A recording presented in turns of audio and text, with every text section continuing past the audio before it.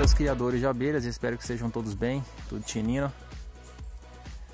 Como eu mencionei no vídeo anterior, que eu ia demonstrar nesse vídeo, sobre a captura dessa escaptotrigona que teve aqui do lado do apiário.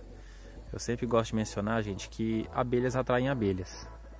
E não é porque você tem um apiário que você pode deixar, se você trabalha com as duas, né, de instalar iscas para capturar as abelhas nativas. No próprio apiário captura. E muitas das vezes várias espécies, porque o cheiro característico que as colmeias exalam, cheiro de mel, própolis, cera, acaba atraindo essas outras abelhas. E como tem árvores aqui do lado fazendo sombra para as minhas apes, eu aproveito e instalo iscas também. Né? Peguei essa árvore forquilhada aqui, bati um preguinho do lado e outro, instalei essa isca, né? E veio a capturar essa escaptotrigona.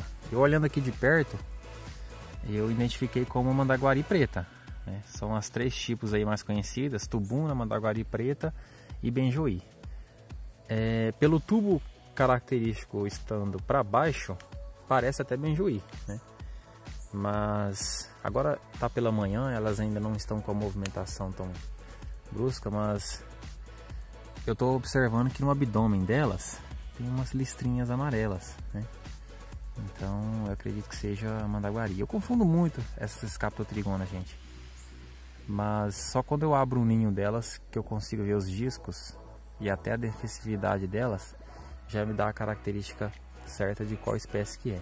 Quando eu for fazer a transferência a gente tem aí a certeza de qual espécie que é, mas em vista eu aposto na mandaguari preta. Aí tem as listrinhas aqui, não sei se no vídeo não dá pra ver, né? Não foca, mas é, aquela bateazinha dá pra ver no abdômen dela o, as listrinhas amarelas. Mas deve ser mandaguari.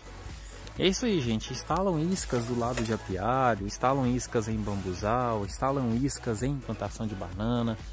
Todos todas essas plantas atraem muitas abelhas. Do lado de córrego, aqui o apiário fica do lado do córrego, né? Então já é prático para se capturar. Ali tem outra isca, só que não capturou ainda. Também aproveitei uma árvore, né?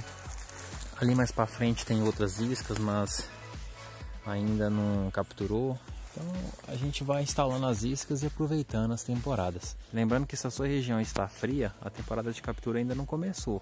Mas como a minha região aqui faz frio somente à noite, madrugada, e durante o dia passa ensolarado, as abelhas soltam enxames na natureza. Tá ok, gente? Qualquer dúvida deixa nos comentários aí.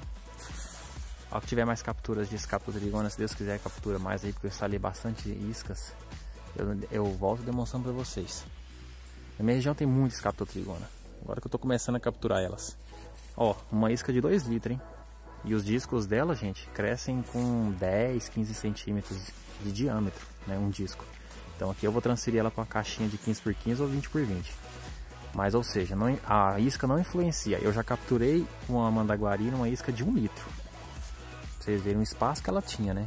Mas elas não dão muita preferência assim não ah, vou usar uma garrafa grande para capturar mandaguari.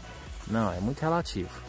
O que vai muito é da região, você tem realmente essa espécie que esteja saltando enxame e a loção que vocês utilizam. Utilizam aí sempre loção de qualidade.